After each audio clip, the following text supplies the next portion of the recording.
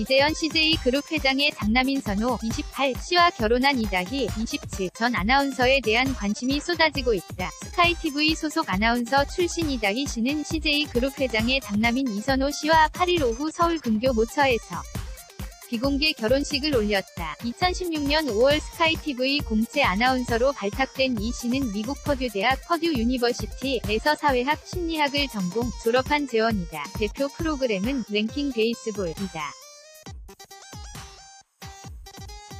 스포츠 외에도 교양 예능 등 다양한 방면에서 간판 아나운서로 활약한 것으로 전해진다.